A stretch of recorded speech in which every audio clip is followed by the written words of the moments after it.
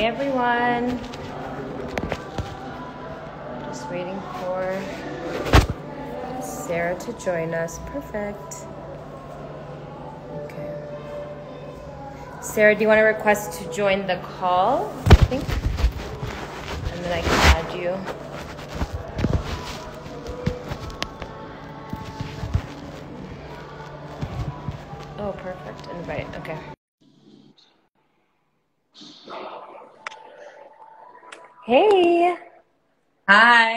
Are you? How I'm doing great. How are you? Good to see you.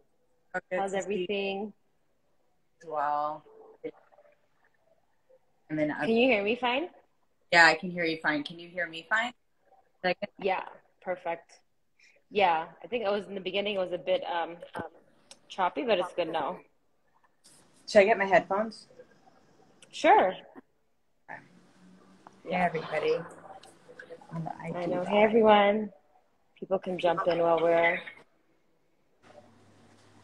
getting ready. Hey everyone, welcome. Welcome, welcome. Are you in Addis? Yes, I am. I'm in Addis. It's so hot today. I don't know what's going on. It's um yeah, just here. How about you? Are you back or are you still out? Hey Caleb, how are you? Hey.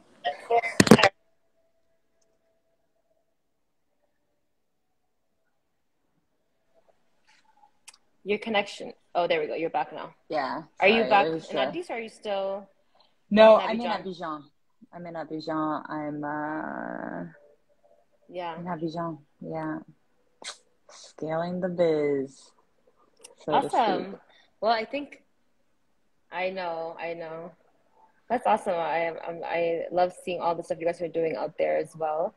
Um, so we can jump right into it. Thank you, Sarah, for joining us for this month's spotlight, and also thanks for everyone for tuning in. Um, I know we had to push it um, a week in advance, uh, a week forward. Um, so thank you all for rejoining us. But this is our second um, spotlight of the month. As you know, it's a platform that we use to kind of give a shout out and spotlight to other organizations that work in the sexual and reproductive health space um, and just kind of learn from each other and share experiences. Um, so we're lucky to have Noble Cup um, founder with us today, um, Sarah. Um, she'll also be giving us a little um, introduction about herself. Um, as you know, I'm, I'm Kidist, um, the CEO of Yene Health, based here in Ethiopia. We're an early stage femtech company that focuses on women's reproductive health, um, more so on the learning and product side. So delivering information and access to products uh, for women here in Ethiopia. Um, so yeah, so with that kind of overview, why don't we jump right into it? Um, before we jump right, I guess, into the, the fun discussion, Sarah, can you give us a big, a quick intro about yourself, your background, where you're based now, and kind of um, the quick overview about um, Noble Cup? Yeah.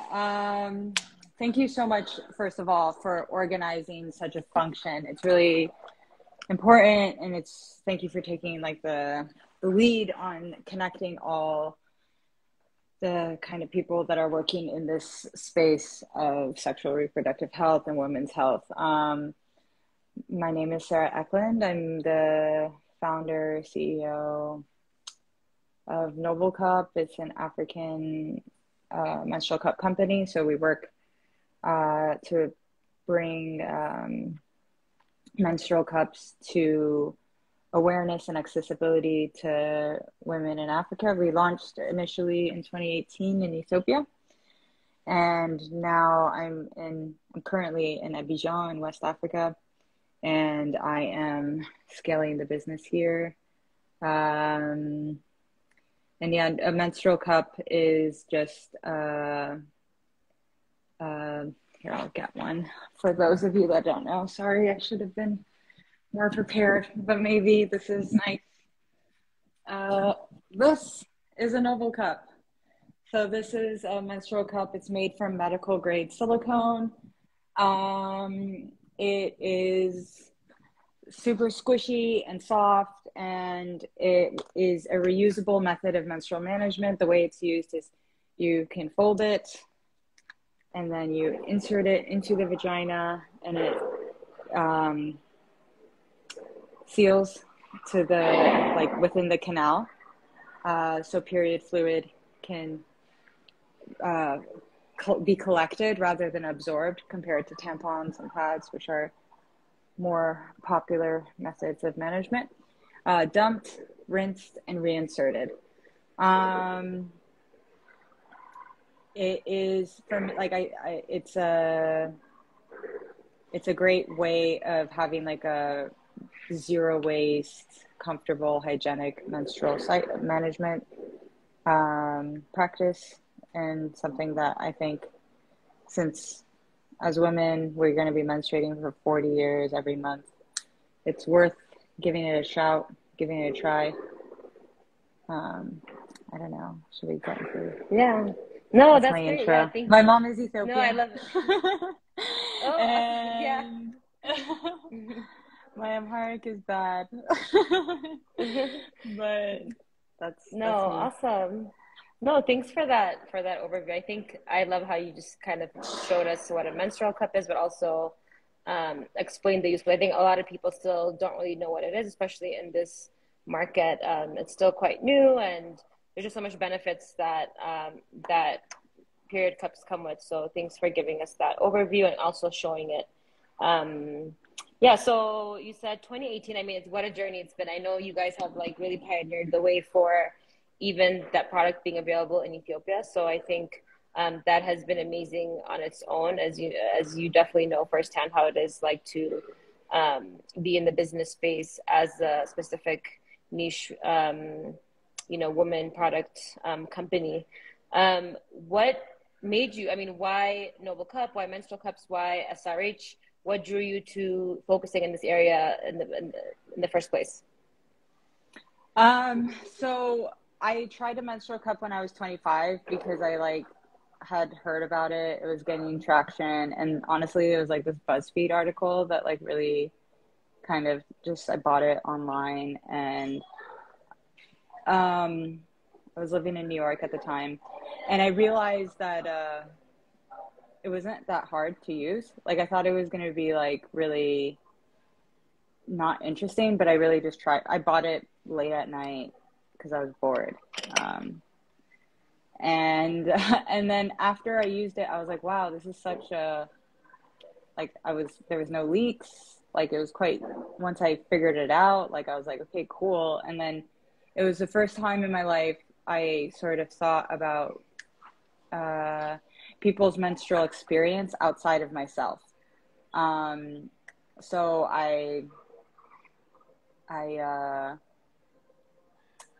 started doing some research. I was like, what's it like to menstruate in Ethiopia? And I, you know, I went to high school in Ethiopia. I grew up in East Africa, like until I turned 18 and went to university.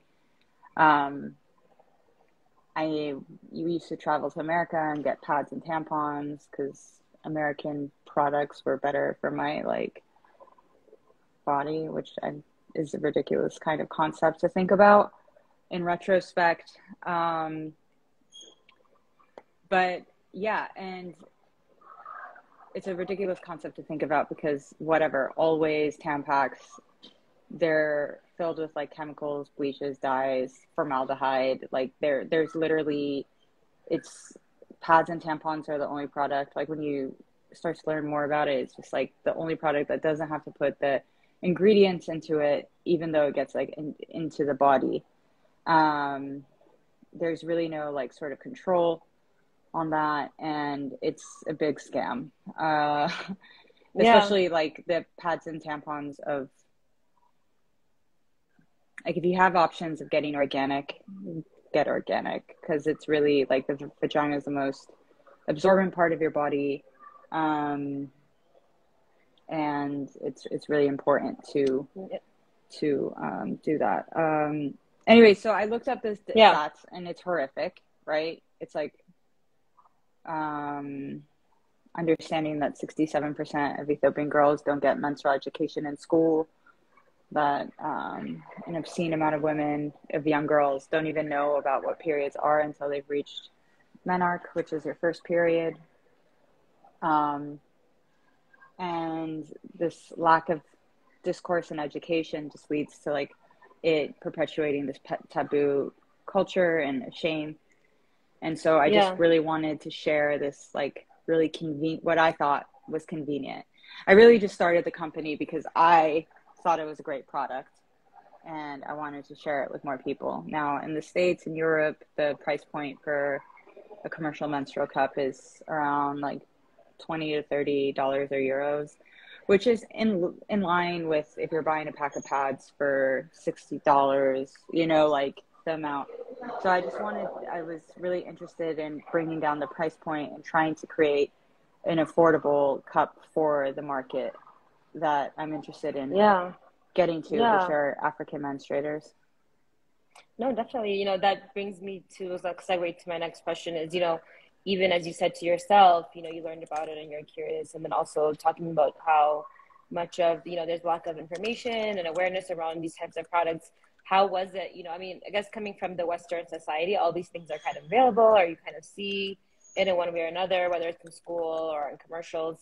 But I think you know when you come into the Ethiopian context, like you said, it's really not part of um, primary education. Um, reproductive health isn't really embedded in that just principal um, time of learning for young girls. So how was that? You know, how was that experience kind of coming in within a with with a product so new with its you know with all of the stigma and just lack of awareness um, and integrating your product into the community here and like how's how has that journey been and where is it now compared to where it was like yeah you know i started in ethiopia because like you know um it's the homeland it was difficult. You know, it took. I had to. Noble Cup is the first company to uh, to bring menstrual cups into Ethiopia. Uh, prior, there've been some like NGOs that have bring menstrual cups, but they don't have to. They can bypass uh, ERCA. So, mm. um, it was the first. We made the laws and regulations for how menstrual cups are imported into the country. Um, we did a lot of education in government just just even to get the product into the country because initially people like like you know we'd be like oh this and they'd be like oh it's for like a car i guess there's like a some mm-hmm. car part that's like a similar look mm, and it's okay. like no it's for the body and then they put us on the same tax code uh, or like hs code as pads and tampons despite the product being significantly different in the sense that it's reusable and um, it's not made from like a cotton based uh, cloth, like you know, like fabric based structure. Um, yeah, and so it was it was tough. It was tough, but, but I think you can also attest. It's just life. Work is tough. It's not. Yeah. No need to complain about it.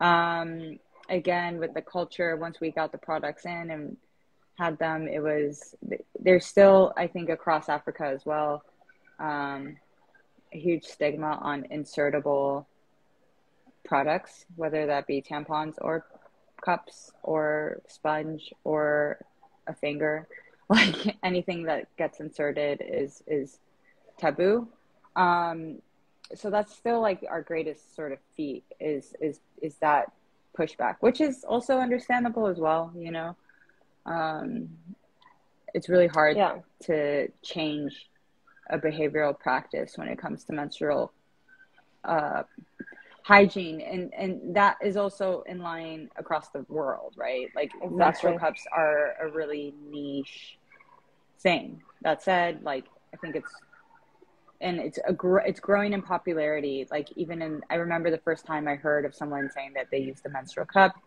It was um, I was like 18 and I was working, I was interning for this organization in New York and Brooklyn that does like it's called Docs to Docs, and we took like medical supplies that weren't used in the U.S. and then we sent them to different places in Africa. And so I was just working in this warehouse, and then this woman was like, "Oh, I use menstrual cups," and she explained it to me, and I was like appalled. I was like, "You're a gross woman, hippie."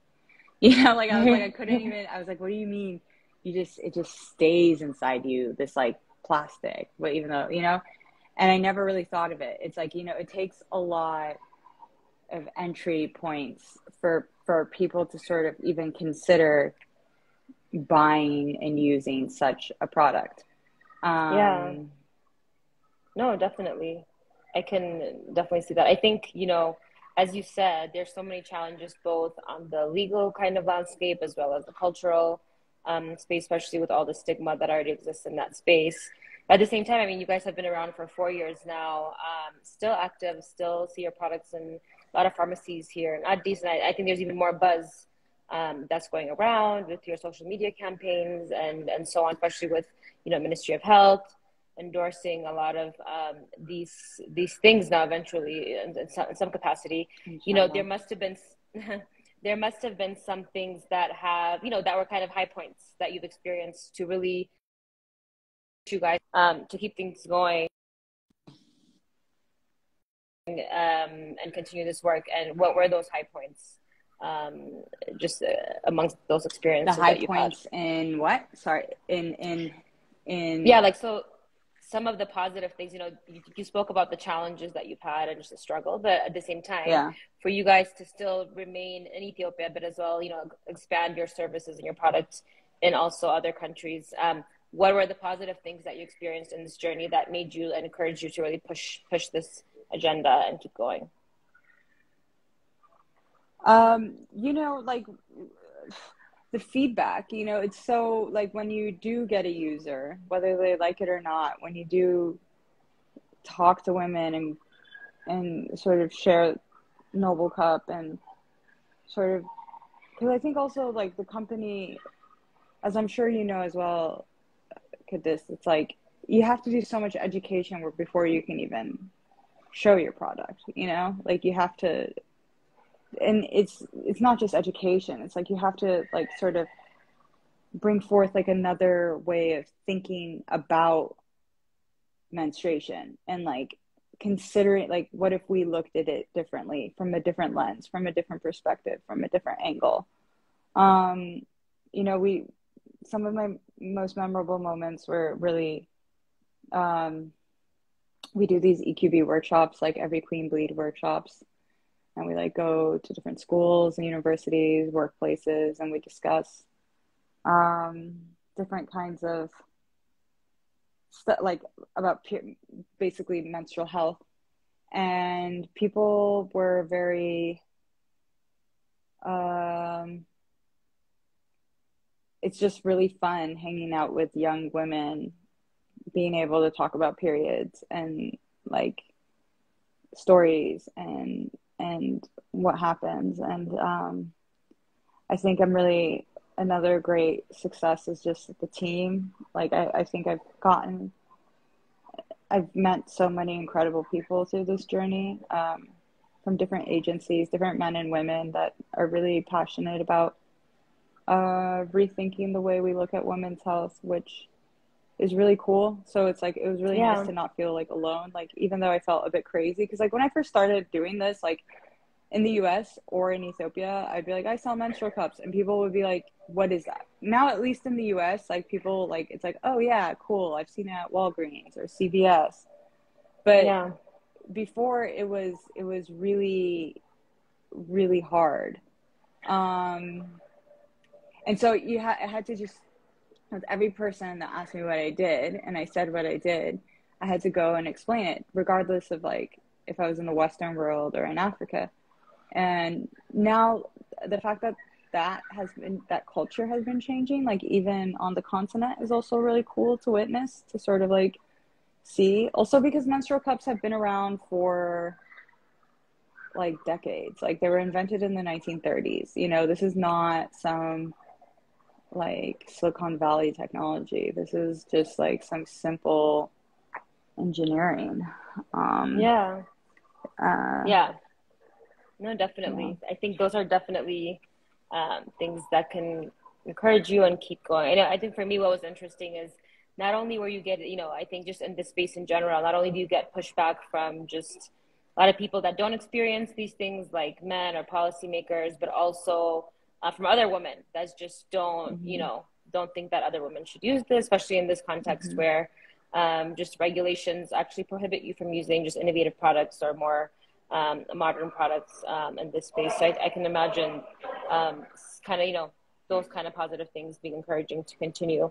Um, you know, totally. I, I, mean, the first to- minister, when I first started working, like the minister of women and children, she was doing a donation drive for pads and tampons and and fota uh, menamen for like street kids and women in prisons and a friend of mine who's older than me, like quite a bit older than me. He's like in his 60s. He like heard it on the radio and he's like we got to figure it out and he like went around to all these government offices with me to try to like figure out how we could donate Noble Cup because of course like I I would love to just like be able to drop them off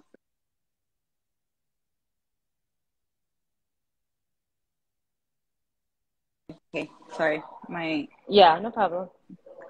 I try to save my brain by like locking myself out of Instagram, but every day I continue.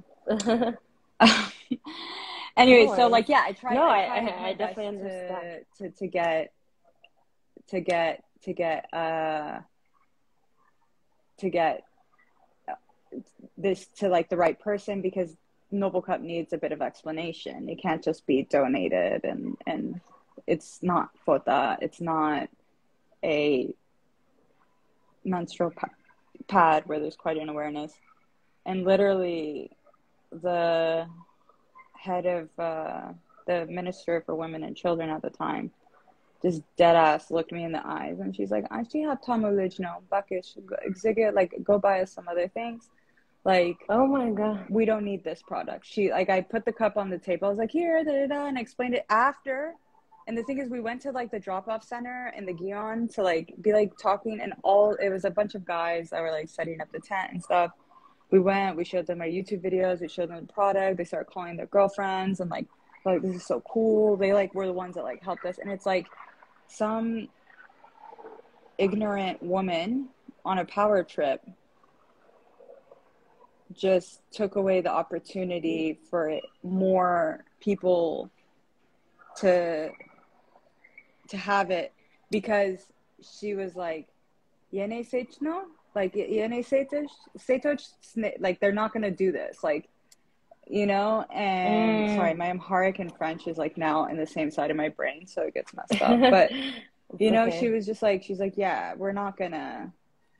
Like no Ethiopian, no respectable Ethiopian girl would put that in them, and it's just like fuck you. Like who are you to decide what women want to do with their bodies. Like, really? Like, who are you to be that guardian of virtue? You know? And mm. It was insane and it was really sad because yeah.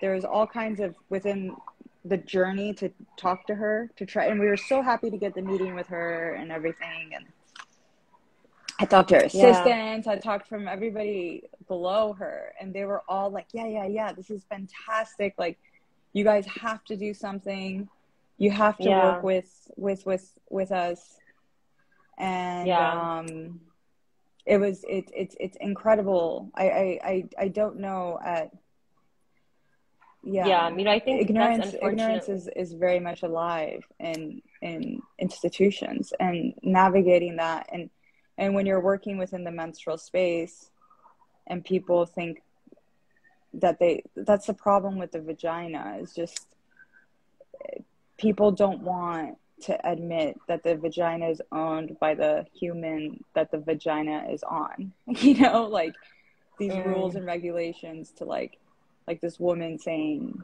she doesn't want to yeah. take noble cups because they're impure for Ethiopian women was, was really unfortunate. Um, yeah, you know, I can definitely, yeah, I can definitely attest to that too. It's quite there's a quite a lot of um, awareness that needs to be done, not only amongst the users and uh, women, um, you know, at the lower level of, um, you know, the end of policymakers and decision makers, but also up top where you know those are the people that are making decisions for the country. Top.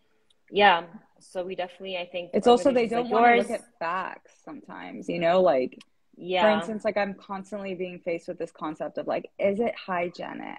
Like, are you sure? Like, oh my god, Yeah, a and there's data woman around that. would not wash her hands and touch her vagina. And it's like, yeah, like it's fine. The vagina is self cleaning. Like, you guys, like, what do you think? Like, you think women have like the purest underwear every fucking day to like, you know, it's really frustrating that like you can show them Lancet reports, you can show them all sorts of data. And at the end of the day, like, still, like, you know, I still get people in the EU. Like, you know, I'm trying to talk with people in the EU. Like, Yeah. the other day, I was talking to some like diplomats to try to get some funding. And they're just like, "Mm, you know, you're really passionate, but like, what about the water? The water's not clean. And it's like, Yeah. I'm washing my It- badge with that water, so relax. Like, you know, like it's really like just let women have choices. Like let them have Definitely. the option. And if anything, when you integrate and understand menstrual cups into your livelihood or into like a concept of something, it gives more awareness to be like to to more care, to be like, "Oh, I am going to wash my hands." Oh, I Yeah, am going to like, absolutely. you know, because it's I- a product that can really benefit a life. It's not like I don't know. I the amount of times I've slapped on a pad between my underwear and just hated my life because I'm Yeah. like, Ugh. like you know. And I think yeah, I'm sorry. And I think that's no, definitely. I think that's why we need organizations like Noble Cup and um, organizations like And Getting Getting Health to really yeah. work together and advocate um, for these things. And I think passion, you definitely need to um, hold on to that passion to really move the needle forward. I know we, we're kind of cut on time here, but kind of a last um, question that I want to raise and comment from your end. You know, even with just Noble Cup itself, I know a lot of women are also um, scared to try it or um, don't know about it. So there's a lot of resistance um, from, you know, even women from the US that come here and so on. So what are, uh, what, what's your advice or suggestions to just help them kind of just, you know, um, try this, uh, especially the product that you guys have here in Ethiopia? And lastly, what's your um, a message that you want to leave us off with as Noble Cup um, in terms of just anything, in terms of anything? Um, how can people support Noble Cup? Where can people find Noble Cup? Um, how would you like to work with Yene Health? What are areas that you need support in right now? Um, and again, a few minutes for that. And um, so the first half time, of your great. question was was was surrounding like Ad- the advice for women to empower Advice, them oh. to use, yeah, to just like I try mean, Noble Cup. I think I like, and I, I, I really, I, I think there's just like a lot that as a culture, women and men also, and women, we, we can like sort of discuss how we're marketed for, like, you know, whether it's a lipstick or a tampon or a cup or like a birth control or something, like the way we become, uh, just vehicles to give people money, to give companies money is like something we need to be more critical of. And as a menstruator, we can have a mixed use approach to menstruation. You know, like there's no uh, better method of menstruation practices other than the fact that I would hope that women are empowered enough to have hygienic menstrual practices. You know, if you're using cloth, jerk, you know, it doesn't matter. Like use your jerk, but make sure that like it's like bone dry after you wash your rag and you you you, you put it in because otherwise you're going to get a yeast infection or like you know consider like all your options when it comes to menstrual hygiene whether they're panties or a cup or something because we just menstruate forever so it's just we've got the time to to to try to try a new to try a new new method And where can um, people find Noble Cup here in Ethiopia or abroad? And yeah um, so in a message from you guys. Yeah. Um, you can go to noblecup.com if you're in America and you want to buy a Noble Cup. We do a price fix where we sell it for $30 there because um, we make it, it's just price fixed that way. Um, in Addis, they sell for like 230 to 200 to 230 um, and it's in South Pharmacy um, at uh, there's a list. Sorry, I haven't been in Addison forever. This is so bad that I don't know all the, the locations. But Ruth Pharmacy, um, uh, I think I'll see it out our Instagram. Instagram. There's a list. Yeah. Yeah. Okay. Life Awesome. Pharmacy, Atlas Pharmacy, or or Life Pharmacy, which is an Atlas. Uh, yeah, and if you're in the Ivory Coast, you can get it at the Carrefour or some Prosuma locations, the Store Dozo. Um, and my one thing I think that I is important to take away with you know, and I think Yene Health, I think we kind of align on a lot of things, but also I just encourage everybody to talk about menstruation more, to sort of like break down their own personal boundaries when it comes to what is menstruation, and then also to consider how to talk about it with uh, younger people. Um, so we can get young girls to be less, young girls and young boys to be uh, understanding more about puberty. So it's it's more um, simple when changes happens. Changes are always difficult and changes are constant Yeah. you know and i think it's important for i always just tell people to just like think about like how menstruation is represented in their media. Uh, are they allowed to talk about it with their father? If you're a father if your daughter has um, menstruation are you willing to go buy her pads or do you create a boundary where certain topics are not for her for you. And and then you really have to dissect that because a loving father should be able to to help uh, her daughter out whether she has cramps and she needs a hot water bottle or she needs him to run to the shop to buy him pa- to buy her pads. Um Definitely. and i think it's it's just like it's the oldest menstruation is the oldest taboo across all culture um and we have we have a tremendous way to go and and and and i don't even know what the future or what the end goal would be but for us to continue to discuss something that is happening to half of the world for 40 years every month and to sort of destigmatize that and to normalize that is something that just doesn't even benefit the woman herself. It benefits a whole community and it benefits Yeah. a, a whole economy. It creates a more productive society. It creates a more healthy society. So if these are things we're interested in we need to um, not shy Talk away about from the actual biology of a woman.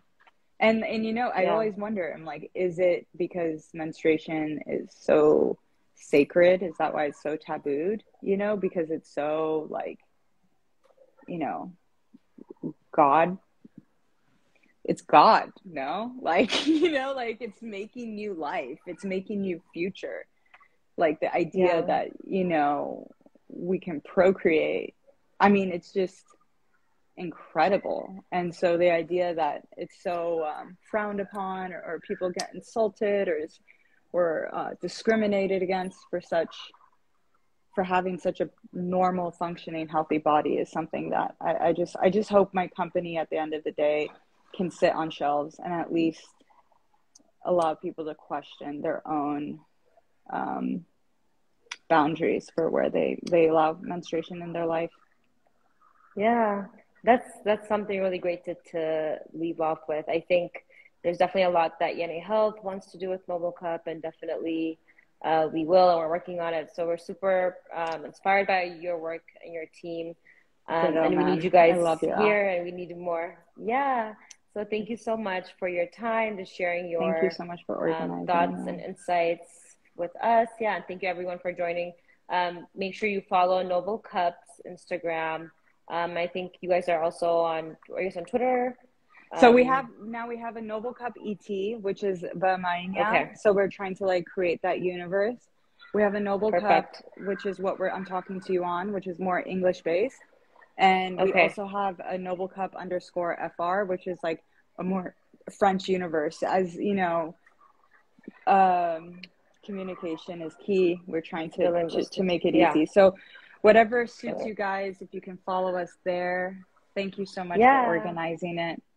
Can I do we'll a little test? Tag you guys. Sure. we'll because I have these puppies, and I'm just curious if if the algorithm will know that we have puppies.